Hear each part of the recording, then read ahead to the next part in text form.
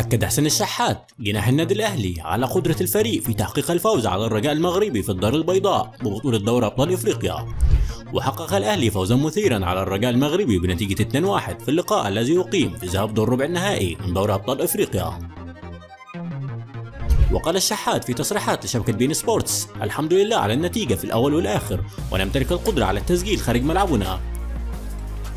وأضاف بالتأكيد نقدر نسجل برا ملعبنا مثل ما فعلنا في السنوات الماضية. وفي النهاية طبيعي أن يدخل في مرمانا أهداف. وأكمل تحدثنا فيما بيننا عن إهدار الفرص ولكن لم يحالفنا الحظ في تسجيل المزيد من الأهداف. ولكن نستطيع التسجيل والفوز في المغرب ونوعد الجماهير بتحقيق اللقب الثالث على التوالي.